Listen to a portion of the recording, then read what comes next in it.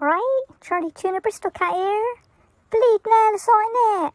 Hot and muggy. Hot and muggy and sweaty. Although, to be honest, I don't really get sweaty. I don't know why. Because I've noticed you humans do, like quite a lot.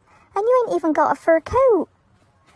I've been being sensible though and finding cool and cosy places to sleep. I've got several different good spotting sleeping spots in my garden. Under the little table, under the Acer tree, in the dirty border my humans ain't planted anything in yet, and sometimes in the chimney. Yeah, it's true what I'm telling you. I'll get my human to post a picture of I.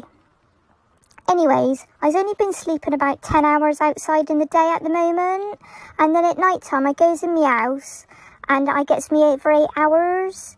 So I don't want you to worry like my lovelies, I was getting plenty of rest. Little update on my human, you know, the good looking one.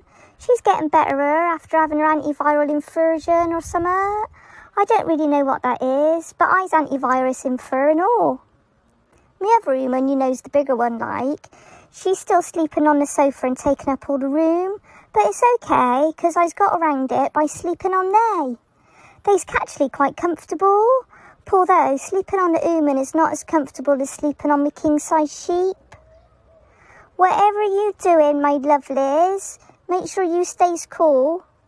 And don't forget, stay safe, stay alert, me babbers. Laters!